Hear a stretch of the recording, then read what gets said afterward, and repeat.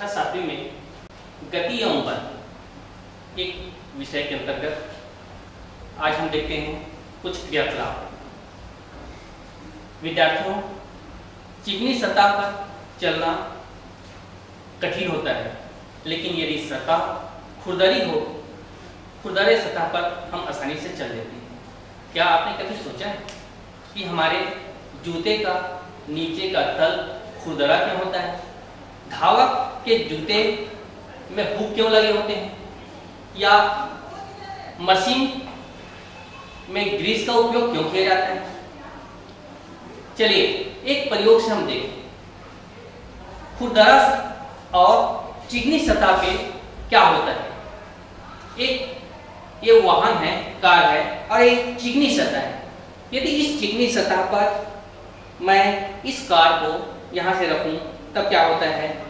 तेज़ी से आगे को बढ़। रहा है दूसरा सतह जो खुदरा है रफ सरफेस इस रफ सरफेस पे यदि मैं इसी कार को रखूँ तो यह धीमी गति से आगे की ओर बढ़ता है। ऐसा क्यों?